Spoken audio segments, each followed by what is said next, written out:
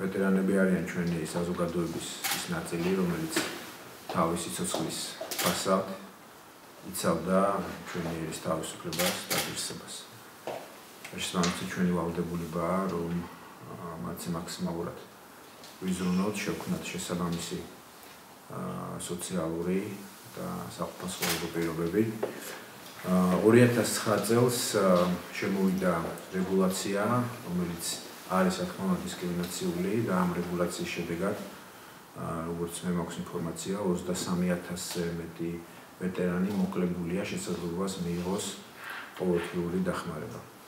ეს საკითხი არის სასწრაფოდ ამოსასწორებელი უმოკლეს ვადებში. შესაბამისად დავალება არის რომ ეს საკითხი მოგვარდეს რაც შეიძლება მალე ჩვენ ყოველთვის უნდა გვახსოვდეს რომ ჩვენ ვეტერანების წინაშე გვაქვს ძალიან დიდი ვალდებულება, დიდი მორალური ვალდებულება და საშუალებასაც ბიუჯეტი გვაძლევს ჩვენ მაქსიმალურად შევეცადოთ.